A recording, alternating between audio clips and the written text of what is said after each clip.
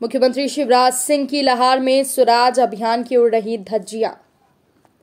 मध्य प्रदेश शिवराज सिंह द्वारा राजस्व विभाग, राजस्व न्यायालयों में लंबित प्रकरणों की समीक्षा समय समय पर की जाती है और ये बात भी निकलकर सामने आती है कि न्यायालयों में नियमित सुनवाई न होने की वजह से छह माह तो क्या सालों तक प्रकरण लंबित हैं? इससे किसानों और फरियादियों को बहुत ज़्यादा समस्या का सामना करना पड़ता है। ताउम्र हितग्राहियों की उम्र, वकील, आवेदन और अधिकारियों की कुर्सी पर बैठने के इंतज़ार में गुजर जाती है। प्रकरण जस के तस बने रहते हैं। इसी परेशानी को दृष्टिगोचर रखते हुए मुख्यमंत्री चौहान ने राजस्व न्यायालयों में भूमि के नामांकन, सीमांकन, बंटवारा अभिलेखों में सुधार व अन्य प्रकरणों की सुनवाई के लिए आवेदकों को अब परेशान न होना पड़े। इस को लेकर योजना को अमली जामा पहनाया था कि प्रदेश की जनता परेशान ना हो और ये सुविधा जनता को प्रदान की थी कि यदि सुनवाई तीस दिन तक नहीं आती है तो रेवेन्यू केस मैनेजमेंट सिस्टम से ये स्वयता निर्धारित हो जाएगा।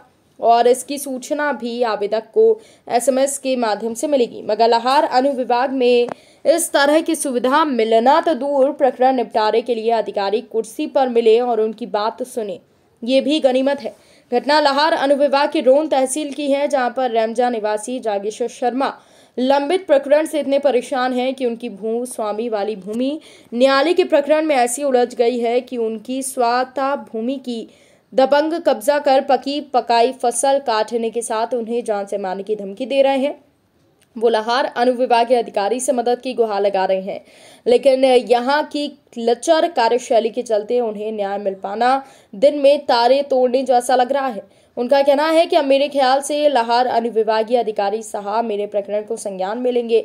जब या तो फरियादी आरोपी में एक बचेगा और फ़सल मेरी दबंगई के चलते आरोपी काट कर ले जाएँगे।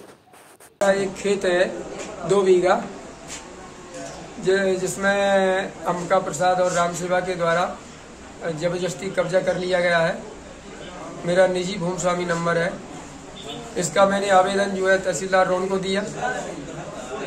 और भिंड कलेक्टर को भी दिया और लाहौर एसटीएम साहब को भी दिया। लेकिन अभी तक उस पर न कब्जा डाया गया है न उसकी जाँच की गई है न कोई कार्रवाई हुई है।